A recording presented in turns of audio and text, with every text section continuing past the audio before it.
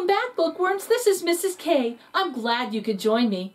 Danny heads out to the bay in his dory, a small boat, even though he's not supposed to go out alone. That's where his adventure begins. It's bad enough he runs into a school of bluefish, never mind a humpback whale. Let's listen as I read Dory Story, written by Jerry Pallotta and illustrated by David Biedrzycki, and see what happens.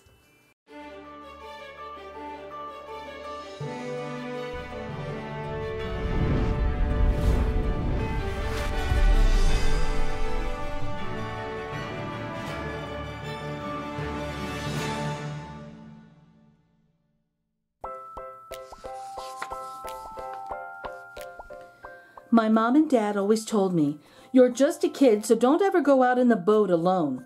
But one night I learned about plankton. These tiny sea creatures are invisible during the day, but sometimes after dark they light up. I wanted to learn more.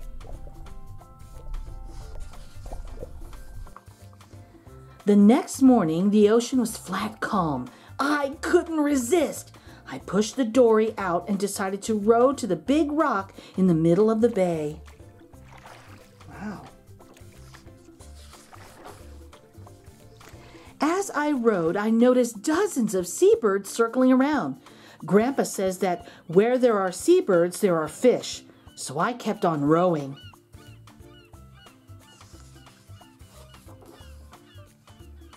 I looked over the side of the boat. I saw hundreds and hundreds of tiny shrimp swimming. I guess that the little shrimp were eating the plankton.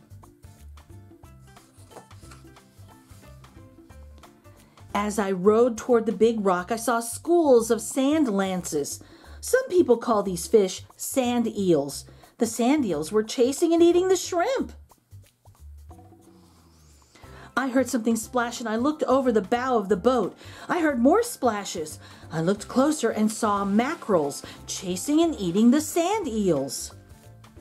Then I saw them. Bluefish. Yikes! The bluefish were swimming like crazy and eating the mackerels. It was a feeding frenzy.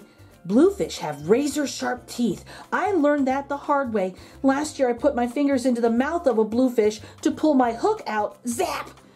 I had to get four stitches. I stood up in the dory to watch the show the bluefish were putting on. Suddenly, five huge tuna appeared in the bay. The tuna were chasing and eating the bluefish. I began to worry. Maybe going out in the boat alone wasn't such a good idea. The tuna were almost as long as the boat. Oh, those are big fish. I've been scared a few times, but I was terrified when the killer whales came into the bay chasing the tuna. I didn't know what to do, but it all started to make sense. Killer whales eat tuna, tuna eat bluefish, bluefish eat mackerels, mackerels eat sand eels, and sand eels eat shrimp, and shrimp eat plankton. I knew one thing I didn't want to become part of the food chain. Help! Where's my mommy?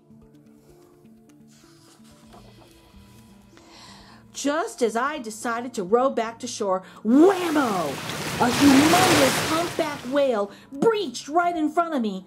But wait, humpback whales don't eat killer whales. Humpbacks eat plankton and krill, some of the tiniest creatures in the ocean. The food chain is really more like a food web.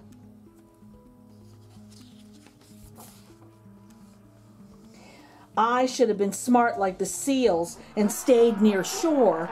The harbor seals had sensed the danger and pulled themselves out of the water to escape the killer whales. Oh, aren't they cute?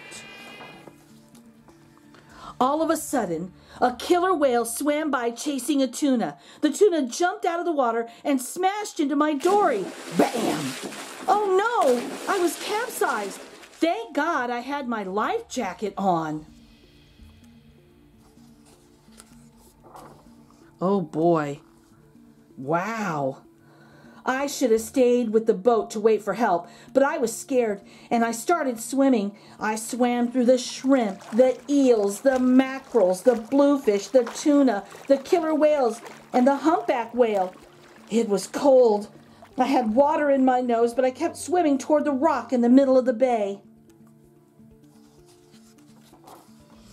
I made it.